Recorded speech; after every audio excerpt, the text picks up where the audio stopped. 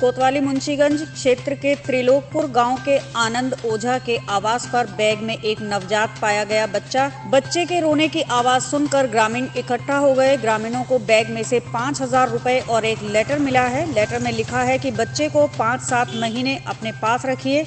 मैं हर महीने आपको पाँच हज़ार रुपए दूँगा। पुलिस के अनुसार पीआरवी टीम को सूचना मिली।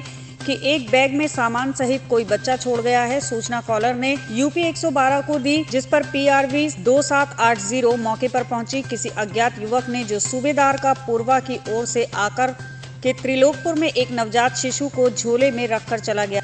पुलिस ने लोगों के समक्ष बैग खोला। बैग में बच्चे के लिए ठंडी गर्मी के कपड़े, जूता, जैकेट, साबुन, विक्स, दवा, पाँच हज़ार रूपए और लेटर आदि दैनिक ज़रूरी सामान रखा हुआ था। भावनात्मक लेटर में पिता ने बच्चे को पालन पोषण करने की अपील की है। उसके पालन पोषण के एवज में पाँच हज़ार माहवारी देने की बात की गई है। पिता ने खत में लिखा है, यह मेरा बेटा है, इसे मैं आपके पास छह सात महीने के लिए छोड़ रहा हूँ। हमने आपके बारे में बहुत अच्छा सुना है, इसलिए मैं अपना बच्चा आपके पास रख रहा हूँ। पाँच हज़ार महीने के हिसाब से मैं आपको पैसा दूँगा। आपसे हाथ जोड़कर विनती है कि कृपया इस बच्चे को संभाल लो। मेरी कुछ मजबूरी है। इस बच्चे की माँ नहीं है और मेरी फैमिली में इसके लिए खतरा है। इसीलिए छह सात महीने तक आप अपने पास रख लीजिए। सब कुछ सही करके मैं आपसे मिलकर अपने बच्चों को यहाँ से ले जाऊँगा। कोई बच्चा आपके पास छोड़ कर गया, यह किसी को मत बताना। नहीं तो यह बात सबको पता चल जाएगी। जो मेरे लिए सही नहीं होगा, सबको यह बात बता दीजिएगा। यह बच्चा आपके किसी दोस्त का है, जिसकी बीवी हॉस्पिटल में है, कोमा में। तब तक आप अपने पास रखिए। मैं आपसे मिलकर भी दे सकता था, लेकिन यह बात मेरे तक ही रहे तभी सही है, क्योंकि मेरा एक ही बच्चा है। आपको और पैसा चाहिएगा तो बता दीजिएगा, मैं और दे दूँगा। बस इस बच्चे को रख लीजिए। इसकी ज़िम्मेदारी लेने को डरिएगा नहीं, भगवान ना करे, अगर कुछ होता है तो फिर मैं आपको ब्लेम नहीं करूँगा। मुझे आप पर पूरा भरोसा है। बच्चा पंडित के घर का है।